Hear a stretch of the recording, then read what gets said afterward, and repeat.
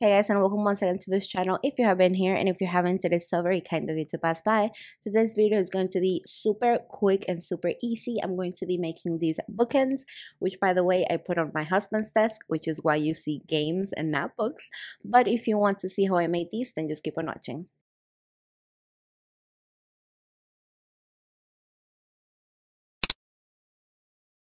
The first thing I'm going to be doing is painting my little figurines that I got at the Dollar Tree. Now, I know that they have these in white and I think they have them in black as well. I think they are sold like that, but I could only find them in gold, which is why I had to spray paint them. And also just ignore that little thing on the side. That is just a little sneak peek of next week's video, which I had to paint. So I figured I might as well paint them together and this is the rest of the items that you're going to need. Now I'm going to take my frames and I'm going to trace them onto white cardstock paper um, you could do this any color you want. Like if you had gold frames, for example, then you would need gold cardstock, if you know what I mean. So I'm just tracing two of them because I am making two bookends.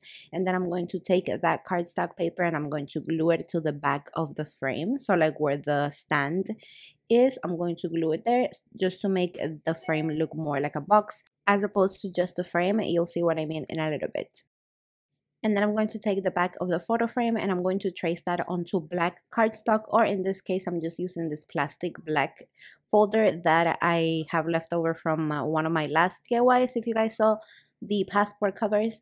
I just didn't want to waste this material so I'm just tracing that on this but you could just use like black paper or any other type of like decoration you want. This is going to be on the glass part of the frame so it is going to be visible as like part of the decoration.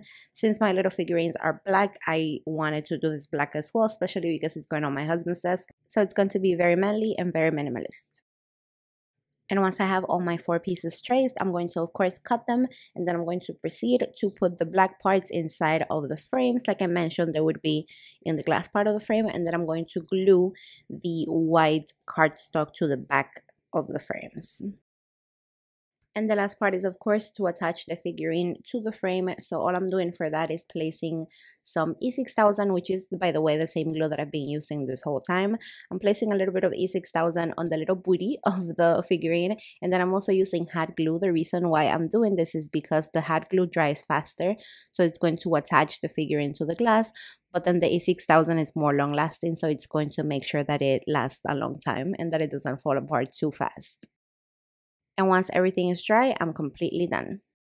So this is how the bookends turned out. I kind of love them actually. They are a little too manly for me, but they are not for me, so that's completely fine. You could get super creative with these.